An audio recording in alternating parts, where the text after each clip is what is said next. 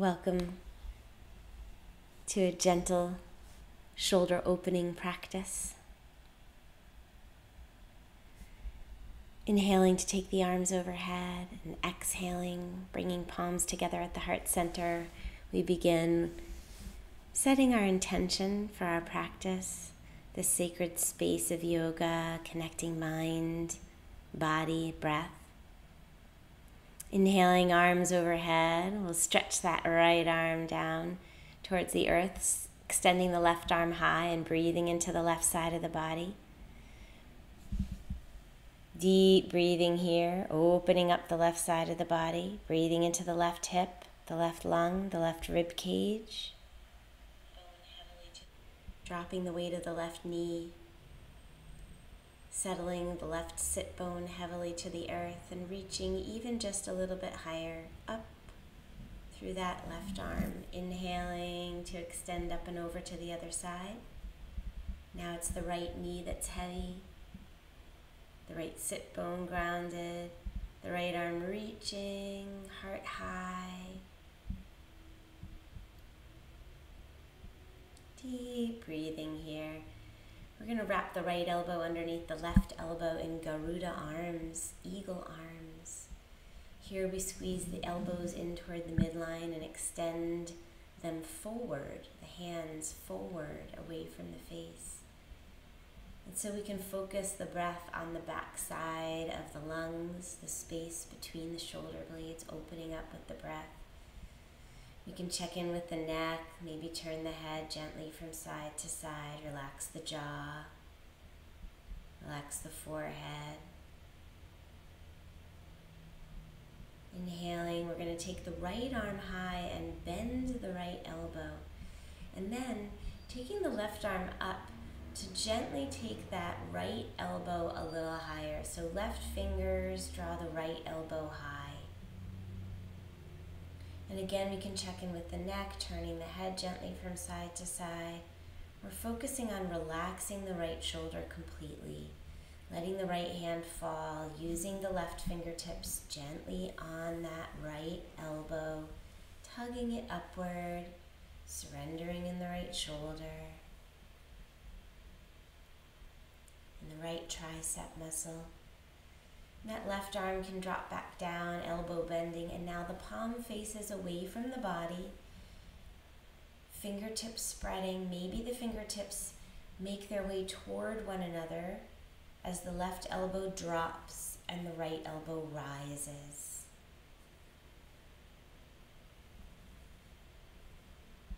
Breathing deeply, extending the elbows away from each other. Checking in with the neck, the jaw, the face, spreading the fingers, releasing at the elbows, floating the arms away from each other. The left elbow will eventually wrap underneath the right, back to eagle arms. Squeezing the elbows in towards each other, scooping them forward and up. Hands away from the face, breathing into the space between the shoulder blades, inhaling and exhaling deeply, breathing into the back side of the body. The leg bones fall, the tailbone is heavy, the pelvis is neutral. Breathing into the space between the shoulder blades. Checking in with the neck, slowly transitioning the left arm rises, elbow bends, hand falls behind. We'll gently use the right fingers to draw the left elbow high. And we're going to be careful about how we access that top elbow, checking in with the head and neck, making sure we're not dropping the weight of the right hand on top of that skull. We want to keep the neck spacious. Opening up that left tricep, left shoulder. Transitioning to extend the right fingers up the back, palm facing away from the body. I'll rotate here so that we can be clear. One palm is facing away from the body, one palm is facing the body. The fingers are spreading, and we're going to use our hands against the back to separate the elbows one from the other. Doesn't matter how close the fingers are to one another, you don't even need a strap. Releasing slowly, we'll take both hands, interlace the fingers as we can, and extend the arms behind the back, relaxing the shoulders completely. Inhaling and exhaling deeply into the shoulders here. Maybe the head falls even a little bit more heavily. Checking in with the neck, the tops of the shoulders. Again, the head, the hips are neutral, the pelvis is neutral, the leg bones are falling, arms stretching slowly away from the body. Breathing deeply in and out through the nose.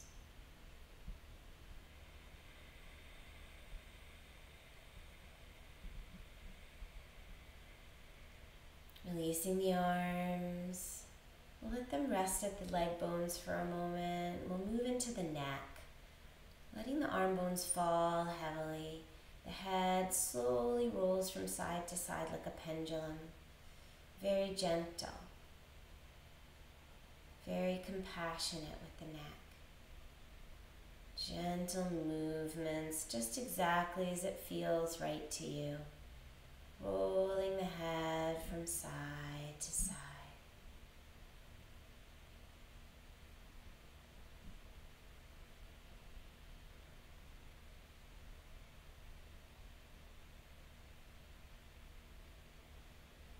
Maybe it feels good to complete the circle, exploring the back space. Maybe it feels better to just keep that pendulum motion, exploring the head's movement, the neck, gentle release from side to side.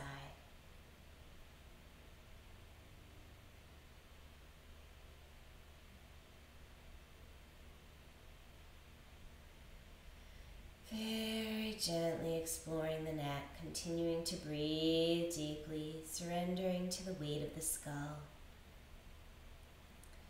With the next breath in, taking the arms overhead, we'll interlace the fingers and rotate the palms towards the ceiling. We're going to find that long line from the crown of the head to the tailbone. And we're going to extend upward beyond the crown of the head through the palms, dropping the pinky fingers back towards the wall behind you, rotating the head from side to side, opening up the armpits, letting the shoulders be relaxed expansive, arm bones lengthening.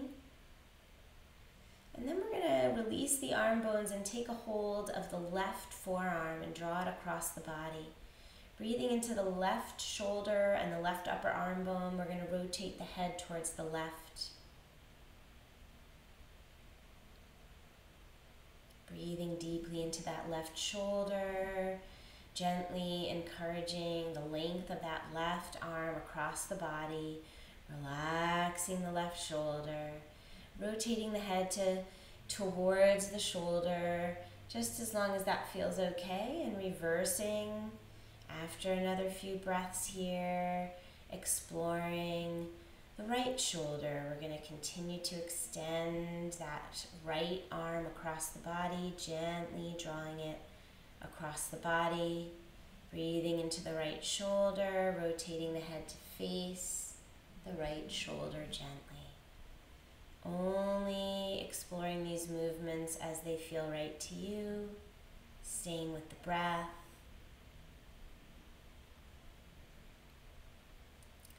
Inhaling and exhaling through the nose, coming back to that oceanic, yogic breath.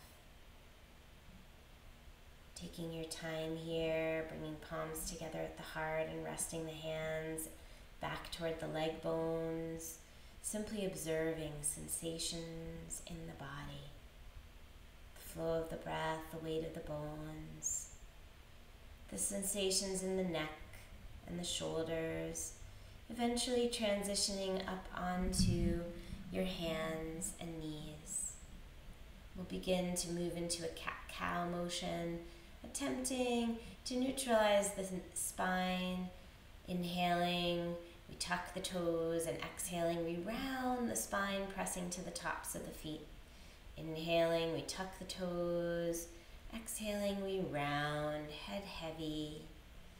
We're continuing to melt into the earth on the inhale.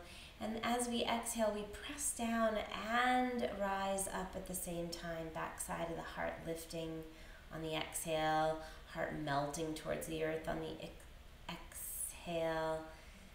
Pressing back to a downward facing dog on an exhale here, spreading fingers, tailbone high, allowing the heels to drop towards the earth, opening up the shoulders, the armpits, head heavy, tail pulling away from the fingers. Deep breathing here. Releasing the skull, releasing the neck. Deep oceanic breathing, knees coming back towards the mat, perhaps resting on a blanket. We'll rotate to twist, right arm reaching high. Exhaling, scooping down, maybe some support for the right side of the head in the form of a block or pillow. Rolling the right shoulder towards the earth and the left shoulder back away from the floor. Rolling the left shoulder back towards the left ear. Relaxing the hips Relaxing the leg muscles, relaxing the low back. Maybe the left arm floats to the sky. Maybe the left elbow bends and we drop the arm behind the back. Whatever feels right to you as you explore a twist at the top of the spine, rolling the left shoulder over the right shoulder. Eventually, the left palm takes its place on the mat We'll inhale to come back up and slowly open to the right. Right leg extends to the sky. Right arm, sorry, right leg to the floor.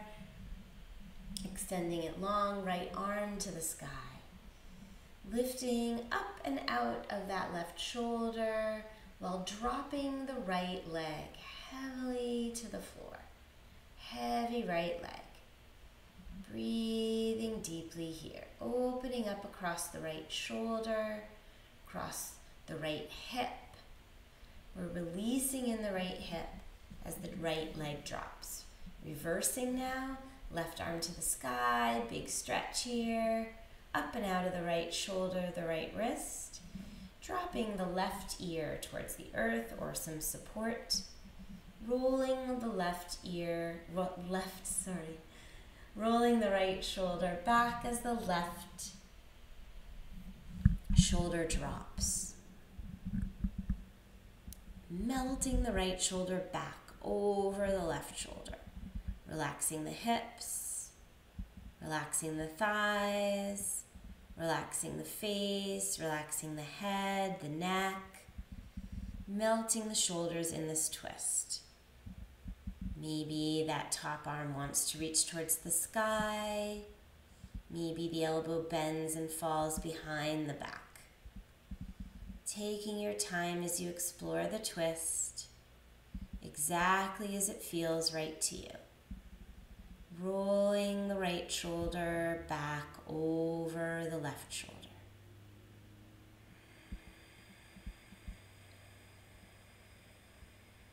Deep oceanic breathing.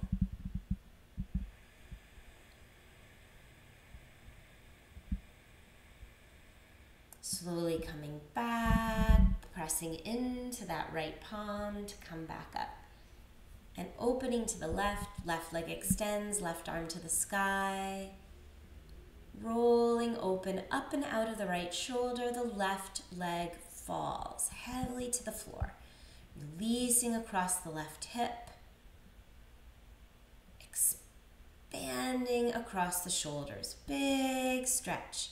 Opening the left hand, pressing into the right fingers, checking in with the neck.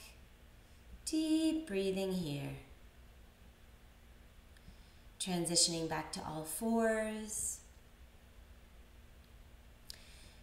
Perhaps a couple cat cows here. neutralizing in the spine.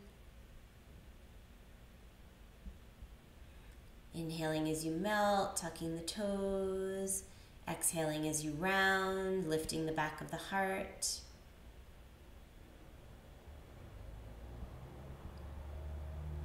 And taking your time here, reconnecting breath and movement. Eventually, we'll press into a downward facing dog here, dropping the skull, spreading the fingers, lifting the tailbone. Heels are heavy. Maybe the knees are soft to protect the hamstrings, but the heels are dropping, the head is dropping, the fingers are spreading. We're finding as much space from the fingertips to the tailbone as possible, opening up the shoulders, breathing into the back of the heart. Deep oceanic breathing here.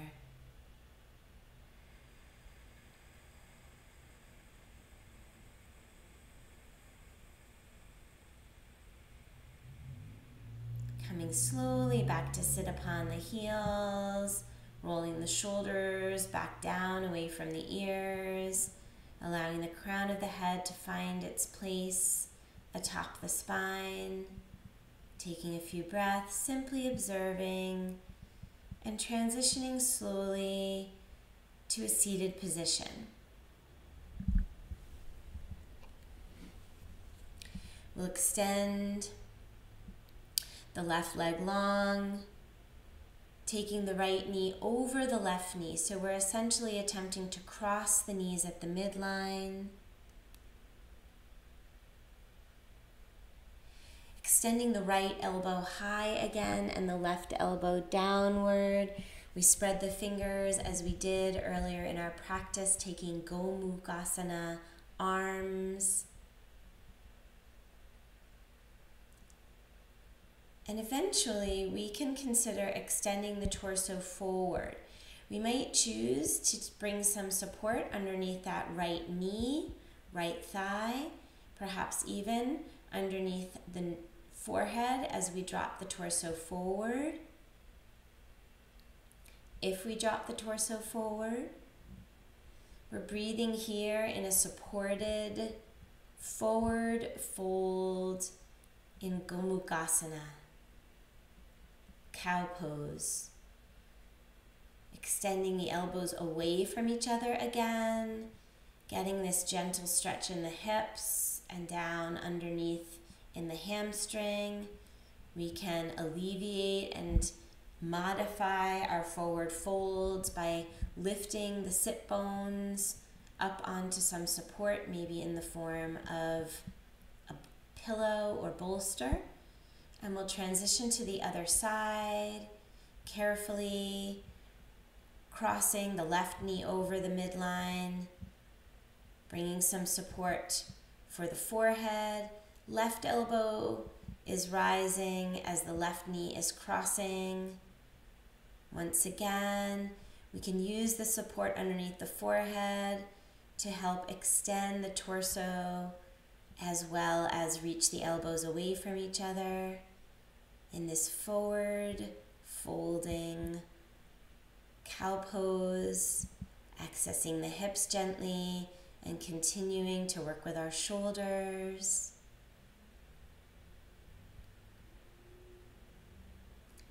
Deep oceanic breathing here, continuing to return our attention again and again to the breath.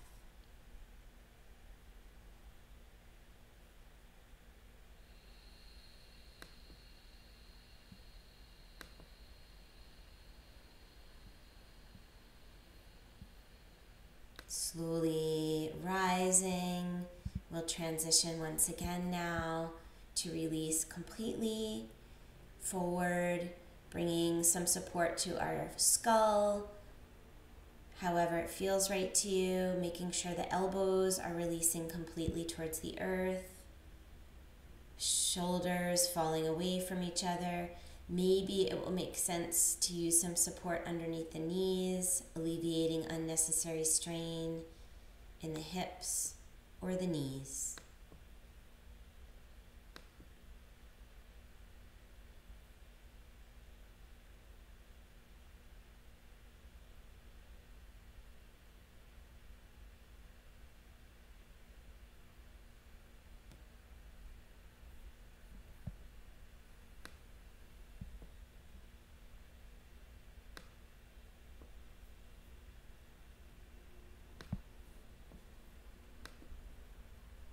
Rolling the forehead perhaps gently upon the support. Maybe that support is your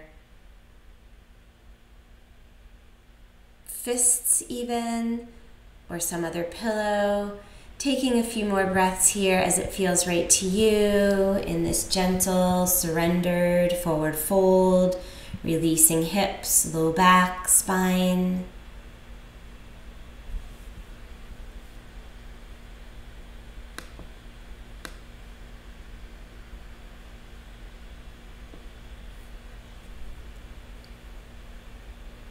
Continuing to breathe ever more deeply in and out through the nose.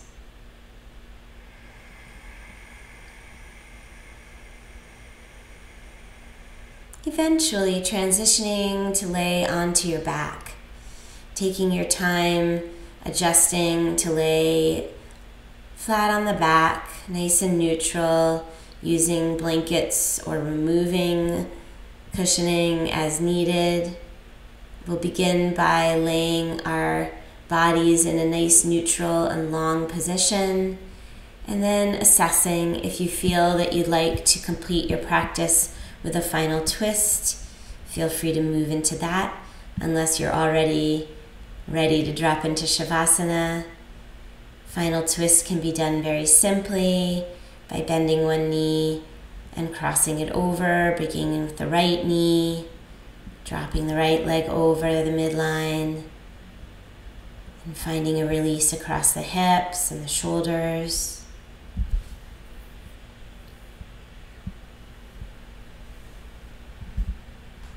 Continuing to breathe deeply, transitioning to even out, taking your twist in the other direction. Dropping the weight of the leg bones, the weight of the skull, the weight of the arm bones, maybe using some support as needed underneath a knee or a shoulder.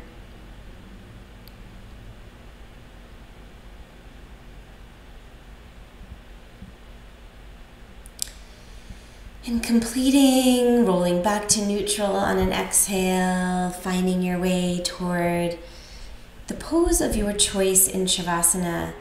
One option, of course, is to release flat back or place some support underneath the knees.